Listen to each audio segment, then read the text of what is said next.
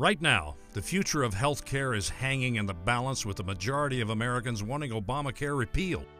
We all know it's bad for seniors, bad for health care and the economy. I'm Chuck Woolery. I've been wondering why does the AARP support Obamacare? I think I found the answer.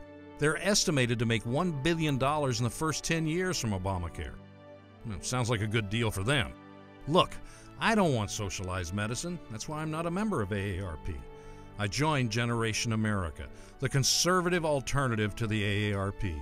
And it's only $24 a year. You're going to get the great money saving benefits you would expect, plus a conservative voice in Washington that's working to repeal Obamacare. So join me. Go to generationamerica.com or call 800 580 2034. That's generationamerica.com or call 800 580 2034. Stand with me. Together, we can do this.